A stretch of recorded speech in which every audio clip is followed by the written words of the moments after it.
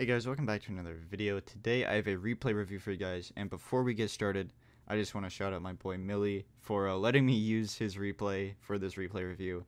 If you guys don't follow him already on Twitch, please do follow him. He's doing a Go XLR, I believe, giveaway at 1,200 sub, or not sub, sorry, that's YouTube, uh, 1,000 followers. So if you guys want a chance to be in that giveaway for a, uh, a Go XLR, I believe, uh, please follow him on Twitch. I'll have his link in the description. But other than that, hope to see you guys in the replay review. Alright, welcome to the replay here now. And uh, yet again, I just want to thank uh, my boy Millie for letting me do this. Because uh, I think this will give everyone else here a uh, opportunity to, uh, I guess, learn. I'm sorry here, I have to... I was doing a thumbnail for the video, so I did change my settings back. But, yeah, uh, other than that, let's get right into the replay. It's a pretty good one. There's some things to go over. Right here we go for a little airplane in the beginning. It's a good idea. Uh, but one thing I will say in the beginning here is not crossing right for the uh, the boost unless it's a call. I wasn't there, wasn't in this VC, but if you make a call to say you're going, like try to aim the ball to the right, then it's good but on a regular basis of just everyone ever here, if you cheat, which is the best idea here, you can either hard cheat, which is going to uh, this boost right here, or you can soft cheat, which is like you're in between these boosts, so you can either react to the ball, or you can like just speed in here off the soft cheat, or you can react to either going right, left. It's a very versatile spot. Zen uses this spot on kickoffs because uh, everyone above, I believe GC1 cheats every single kickoff. Not every single, but a lot of the times. So that I can get a uh, beneficial start to the uh, the kickoff. But yeah, that's that's one thing I will say. But if this is a called kickoff, then this is perfectly fine. Again, leading to possible goal attempt here. I will say we can work on the recoveries. I know he's not the, the most mechy guy, but you can work on the recoveries if you hold your uh, power slide here. You can slide off the wall and do... So right here, you slide off the wall. Let me go into fly here. This is where you're holding your power slide. You jump and you tilt your car, not tilt, you flip your car so your bottom of the car is facing the ceiling and you jump again. That's going to be your fastest recovery here uh, 90, 98% of the time. Instead, instead of doing this, uh, just tilt your car like this. Your car's like this, but on the wall, and you just jump down. Exactly like a reset, instead this. But good follow from the teammate there. Let's see what he does. As I thought, unless this is yet again a called kickoff, the best choice of action is to either grab this pad and slowly cheat up here or hard cheat and like go for this pad. Because the main idea of the more cheating kickoff here is so you can have a better start at the uh, the kickoff whether you maintain possession or you lose possession. Whatever it is the whole point of the uh, kickoff is to maintain possession pretty much. Whether you win it or lose it or tight, I guess. But right here, see, this would have been a bad example to cheat. And this is really on Yod over there, or Yodi. Uh, my bad. over there, this is a terrible kickoff because you never want the ball in the air on your side on kickoff. You know why? Because this player over here that cheated, by the way, can grab this pad and pretty much shoot this anywhere on net that the defender isn't. Now, he didn't grab this pad, so he's not going to get the best chance, in my opinion. But this boost here, let's see, he grabs this, he flips here, or he grabs this boost, he flips here, and bang, he's up for that. If he's the better player, he scores this, with less spins. He scores this and places this either top corner or he switches it up and goes left side. That's just if he's the better player and realizes the uh, chance and opportunity. But a unfortunate catch there. Good job not using all the boosts in the corner there, I will say. That is good boost management. But this pass here. The option is covered either way. And I don't know if uh, Tony here uh, knows about it, but he's pretty much, after he lands his flip, he's going to be in the way of the pass. So no matter what, this pass is blocked, right? Because if you get it even past the first guy, Tony's there, he grabs a 12 pad, or he just backflips and he can challenge the ball, and you guys are now both committed. But it's a good job following it up on the play. Unfortunately, teammate gets beat there. And you turn, good here. But the whole idea of this play is for you not to waste your boost. Like, you want to sell it, you can sell it. But the whole idea is to as you do here pretty well, is just back off pretty much. And if I were to, uh, the wrong button. if I were to say in a perfect world here, you grab the boost and you just turn and go here. Or not go, but like turn close cheat. So let me let me rephrase this. Is you go in here, you drive up the wall, you drive back down right away. You follow this path out. And you're in a better spot because if we look at it from uh, this guy's perspective, here's 47. He clears it to the side. Right. And if we look at this perspective right here, he's going to be the first one to the ball anyways. So if you come out this way, you drive into the corner, you don't even have to be on the wall. You can go up the wall, you can just, or grab the pad and just like drive on the crease here and go back. Grab this pad, grab this pad, this pad, this pad, boom. And now you can be second man, so you can actually go grab this pad, this pad, and play back post. That's what you can do. And even playing this middle option is good. Good boost grab as well good hitting the ball out there. Now, if I were in this situation, I would grab this pad and turn. Like, not exactly this way, but I would turn and like kind of stay in this like dark section here. I'd stay in this section because if the ball pops out mid, I'll be the one closer to it pretty much if it pops out more this way if it pops up more mid here or this way, this guy wins because he has a little bit more of a run up and is closer to the ball, so it's not worth me going. But even playing right here and going back, that works too. And that can be on any map.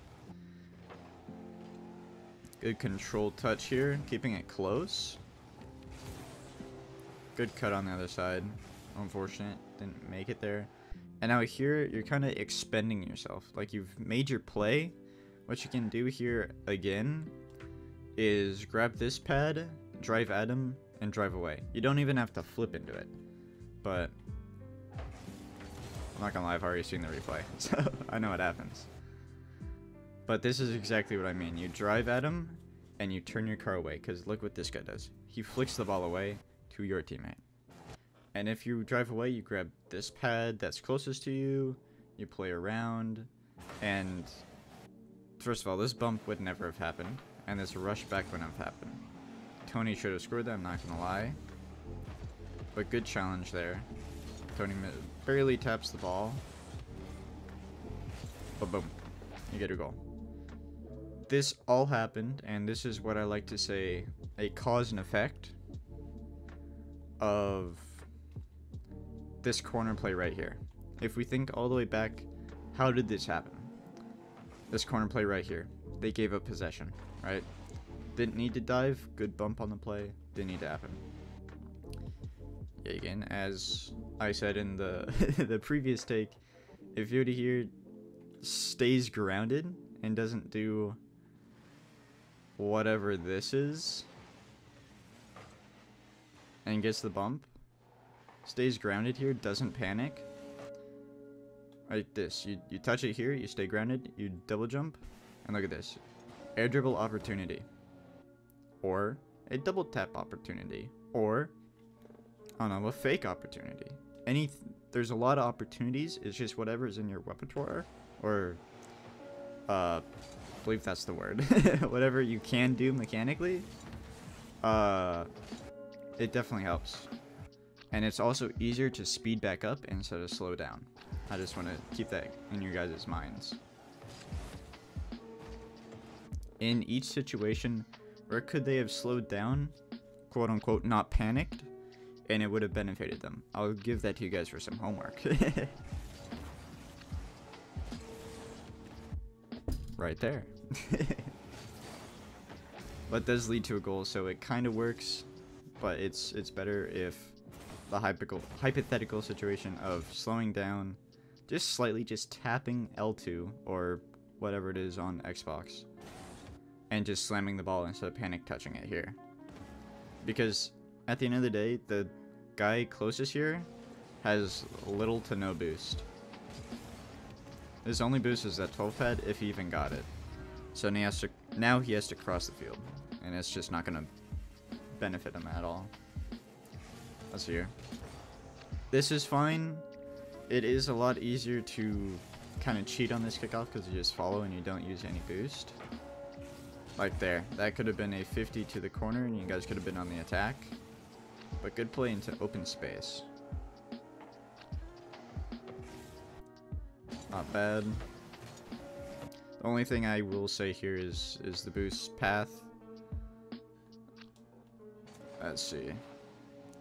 Play here. Grab this pad. You can even go down the center and follow this and turn here. You have the time. See, look at this. It's the same amount of time, pretty much. Grab this pad. You're still in line with it. The only thing that's different from this take to that take is you would go like this and you can turn. You can either go for this corner here or you can turn here and you would get the same result because you would just cross here. You would gain an extra pad as well. You can gain an extra 12 and all you have to do is go across like this. Go across like this. It's really weird in the camera, but it makes more sense if you're on with your car. You go across like like this. You get the outside part of the pad and you go like this. You still cover this half of the goal and with a dodge or a flip, you cover this half of the goal. And you're already in his face, so it's going to make the shot a lot harder for him anyways. Good recovery. Playing safe on the ball. Good musty. And boom. Read the double tap. And that's it. That's all I got for this first round.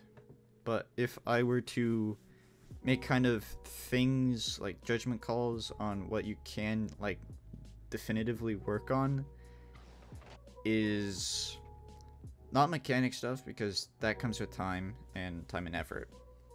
But it's reading the situations and reading the plays. There in as well as boost management, but everyone can work on boost management. Stuff like kind of like this corner play here if I can find it. I don't know if it's this. We'll take this one for example. This is a good and a bad decision at the same time. And what I mean by that is it could be better if the ball's just left alone here. They can take their time, or as you do here, you can fake them kind of here. You can challenge, but also not challenge. And I, I think my approach here is a little bit better. You do stay on the ball no matter what.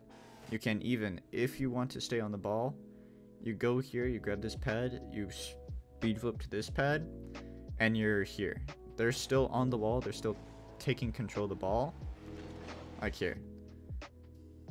You come across here, you grab that pad, you flip to this pad, you grab this pad. You're still first man. You can still stay in the play, but also gives your gives an option for your teammate to go into the play as well. Gives them an option. All you have to do is call them off if you're in comms. And knowing these two, they're probably in comms here. So what you can do is you say, going to fake fake challenge. You grab this pad and you can say, I'm going again, or I'm still on the ball, or back off, or I'm rotating to the ball, something like that. One of anything really, just or I got it. One of the one of the seven, and you can just keep on challenging. And if this happens, you can just bang this ball. Not the best idea, by the way. But you can just hit this ball like right here, so it bounces out, and either if he was playing closer, he's playing really passive here, and you kind of angle it this way because you have an angle on the ball where you can kind of cut across here and hit it right here. You can kind of pinch it back towards your net if you're good enough with your card control to go this direction because this guy has to like boost to this ball. Stuff like that. Like they're minute things if you think about them, but also if you think about them, they're the most important things. It's something I'm trying to work on is not diving in the corners, and it's something we can all work on unless you're a Firstkiller or a Zen, who don't need to uh, worry about that. but yeah, if you guys did enjoy this uh, replay review, please do let me know down in the comment section. If you guys want this to be a series, let me know as well, because in the Discord, uh, which is in the link in the description, I have a replay review section. So if you guys ever want me to look at your replay reviews, uh, or replays, uh, go ahead and we can make this a weekly series, monthly series, whatever it is, if you guys want. But other than that, hope you guys enjoy. I do hope you guys learn something, and uh, wish you guys luck in this rank grind because uh, it's it's tough out here. But other than that, I hope you guys did enjoy. I'll see you guys in the next one. Peace.